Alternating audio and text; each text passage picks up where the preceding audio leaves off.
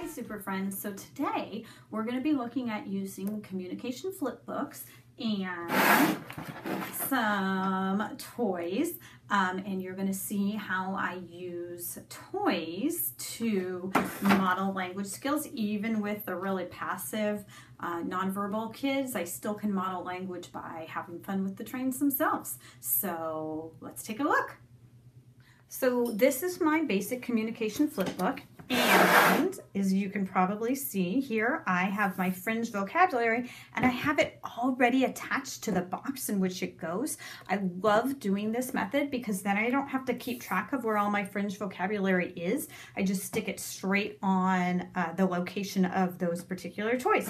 And today I just taped it on. My favorite thing to do is use um, tack it, which makes it kind of like sticky tack um, and use that. But Today I'm just using tape. That's how simple you can be. So now I have my fringe vocabulary and I have my core vocabulary and I'm going to show my kiddos what we're going to playing. So, hi Johnny. Look, we're going to play some trains today.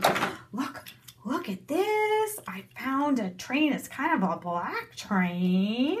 And I'm going to get some more. How about a blue train this time?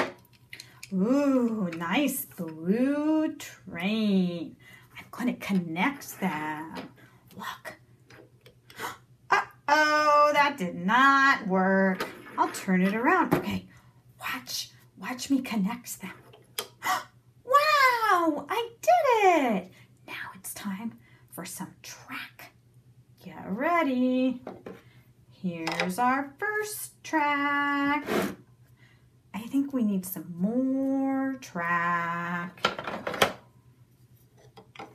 Ooh, nice. How about one more track?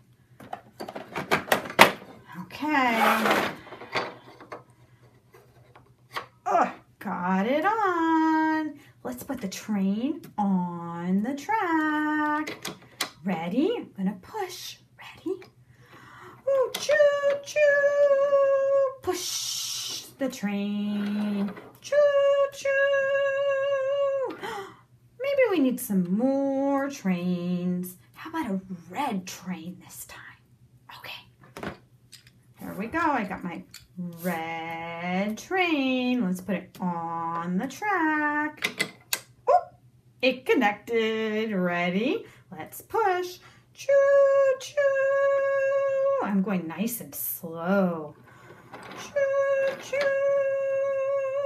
Wow, nice job. We had fun pushing the train and putting the tracks and putting the trains on the tracks. Great job.